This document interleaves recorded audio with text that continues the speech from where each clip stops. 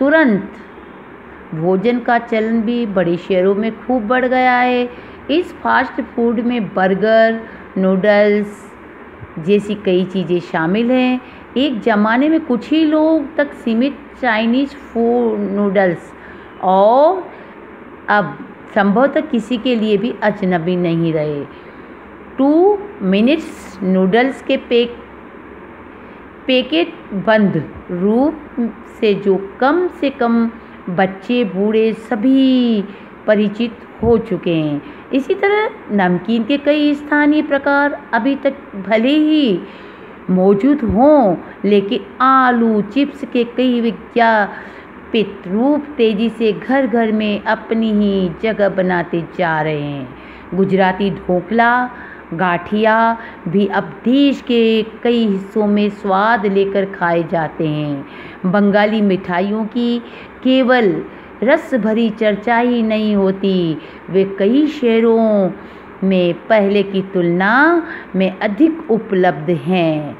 यानी स्थानीय व्यंजनों के ही साथ ही अन्य प्रदेशों के व्यंजन, पकवान भी प्राय हर क्षेत्र में मिलते हैं और मध्यवर्गीय जीवन में भोजन विविधता अपनी जगह बना चुकी हैं। कुछ चीज़ों, चीज़ें और भी हुई हैं। मसलन अंग्रेज़ी राज्य तक, जो ब्रेड केवल सहाबी ठिकानों तक सीमित थी,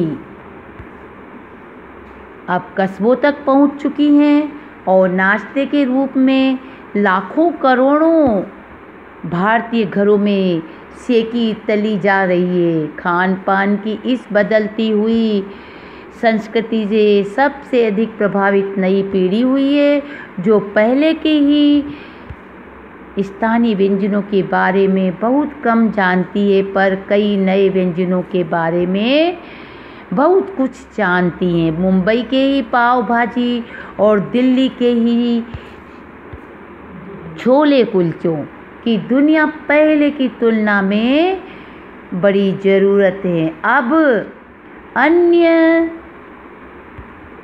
स्थानीय व्यंजनों की दुनिया में छोटी हुई जानकर ये भी बताते हैं कि मथुरा के पेड़ों और आगरे के पेठे नमकीन में, अब वह बात कहाँ रही? यानी जो चीज़ें बची हुई हैं, उनकी गुणवत्ता में फ़र्क पड़ा है।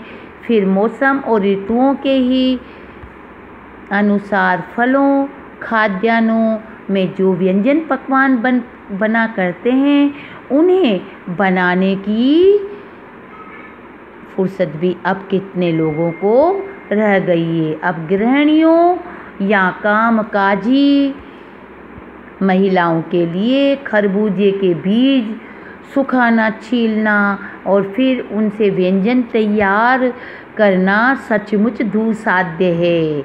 यानी हम पाते हैं कि एक और तो स्थानीय व्यंजनों में कमी आ गई तो दूसरी ओर वे भी देशी व्यंजन अपनाने जाने रहे हैं। बच्चों, इस पाठ को पढ़िए ध्यान से और नीचे कुछ प्रश्न दिए हुए हैं।